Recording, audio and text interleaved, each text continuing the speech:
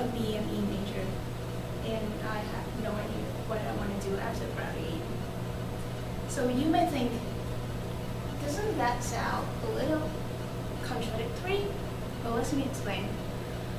Um, so one time when I was six years old, uh, my entire family and I, we went to an amusement park. And my favorite thing to do is to get on the Ferris wheel and I think I was a really brave child. Uh, I was not afraid of the height. And, well, apparently a lot of people were not afraid of the height too. So, well, I guess that doesn't mean I was a very brave child, but that's not the point. Anyway, the line was really, really long because everyone wanted to get onto the Ferris wheel.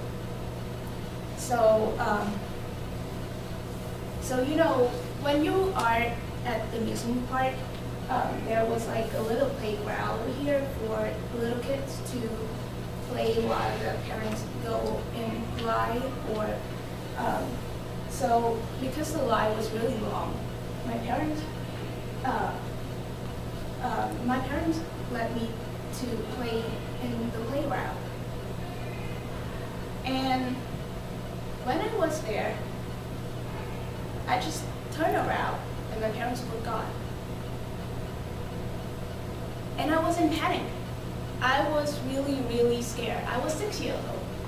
I have no idea where I'm gonna go or I have no idea how to talk to people. And so I was on the edge of crying.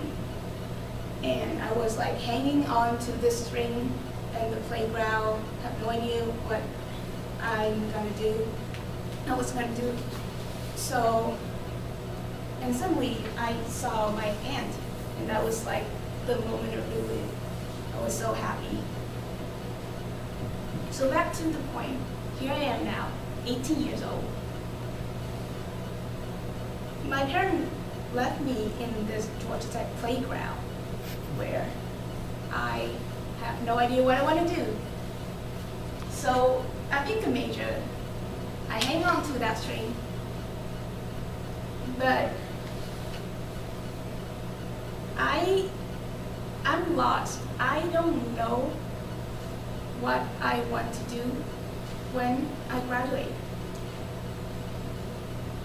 But just like me, you might be a BME major, you might be lost too, but just hang on and try your best, and with time, the solution will you.